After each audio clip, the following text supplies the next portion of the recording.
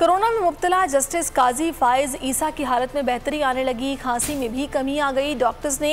अस्पताल में मजीद इलाज का मशवरा दे दिया गुजशत रोज जस्टिस फायज ईसा को तबीयत बिगड़ने पर बिगड़ने पर निजी अस्पताल मुंतकिल किया गया था कोरोना में मुब्तला होने के बाद से उनका और उनकी अहलिया का घर पर ही इलाज जारी था